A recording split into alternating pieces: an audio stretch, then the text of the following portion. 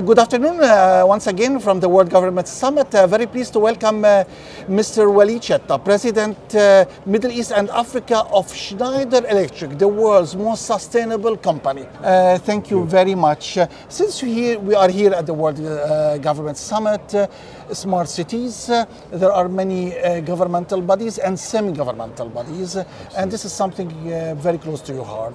How are you helping out uh, those bodies to uh, basically uh, develop uh, their smart cities program? So first of all, thank you for having me. We are delighted to be here and to be in the World Government Summit. We are effectively pronounced as being the most sustainable company in the world. Uh, this is the third uh, time we received this award that is very close to our heart. And yes, to re- uh, respond to, to your question, we truly believe that a big part of the emissions of the planet are coming from cities. 70% of the, of the global CO2 emissions are coming from the infrastructures of cities. So working with governments is our DNA. Uh, whether it is the utility, providing electricity, providing water, whether it's transportation, and in cities like, like Dubai, of course, it's an overarching message Yes. and a global coordination that is needed. What is lovely about the World Gover- Sum- Government Summit here is that you can talk to all the stakeholders in one place. Yeah. So what I can tell you is that we engaged with many ministries, we engaged with many governments Yeah.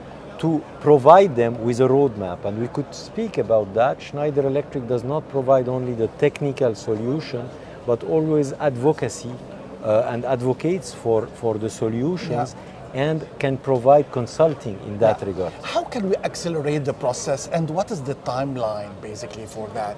Yeah, that's a very, very good question. You know, when you speak about technology to, uh, to make more efficiency, you always have a break between the upper layer, the mm-hmm. softwares, the mm-hmm. algorithms mm-hmm. that are going to execute these programs, and the hardware and the connectivity of the city upward. And as we have cities that have been existing for a long time, not all the products in the city are connected to this software layer. What we believe in is to implement first the connectable machines, the connectable ACs, the connectable water distribution units to the cloud and then to make the necessary out of it. This is where the time frame is, a, is an issue. This is where the time frame is a challenge.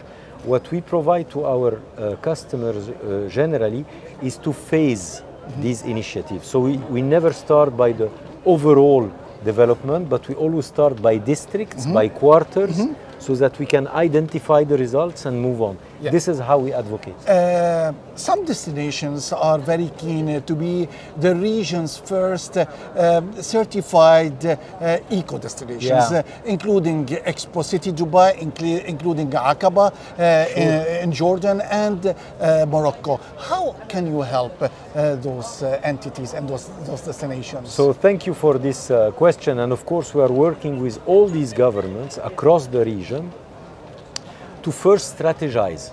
So we do have a complete activity that is in charge of strategizing the movement toward the net zero. Because as you know, you have scope one, scope two, scope three, and you have to address all of them. So you first strategize. Then we believe that electrification is the shortest way mm-hmm. to sustainability. As you know, the most efficient energy is electricity, Yeah. electromagnetic mechanism force.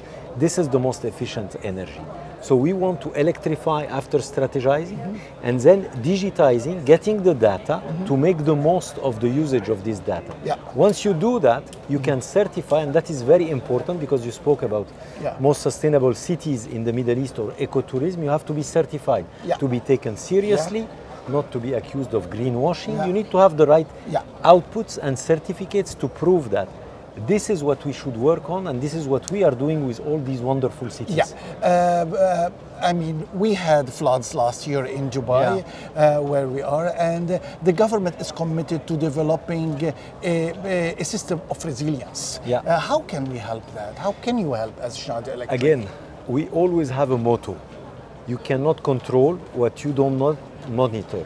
So monitoring is the key of everything. Yeah. What we provide is preventive solutions because if you measure using AI, and that is, I know you AI is used uh, in many ways, But in this case, it's very pragmatic. Mm-hmm. You use the big data of weather, Yeah. you use the big data of the behavior mm-hmm. of your installation, whether mm-hmm. it's water or electri- electricity, then you predict the maintenance, you predict some of the behaviors of the equipment Yeah. or the sewage systems in regard of a massive rain, for example.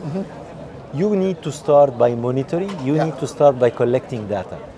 And we believe very much that collecting this data is crucial for them. And we are offering them currently, and we are already in advanced discussions on that matter. Uh, knowledge transfer. Uh, previously, Oh, we yes. used to import Oh, here yes. in the Middle East. It's, it was one way from Yes. the West or whatever Yeah. uh, to this part of the world.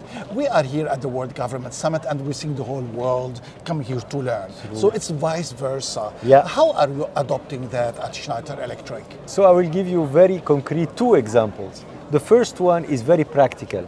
When I'm telling you we advocate for strategizing the, the sustainability journey, we are recruiting not less than 40 experts who will be based in Dubai, and some of them are already based in, out of Dubai Okay. to serve the world. So when we speak about advanced consulting services for sustainability, mm-hmm. guess what? They are going to live in big time in Dubai. But the second one is more symbolic. Our global CEO, Olivier Blum, is relocating, is now living in Dubai. Wow. So the thought leadership will come out of this part of the world to, I would, I would say, go throughout the planet, starting from the Middle East. So the global CEO of the world's number one sustainable city uh, company is will be based in Dubai. True. Mr. Wali, thank you very much for being with us today.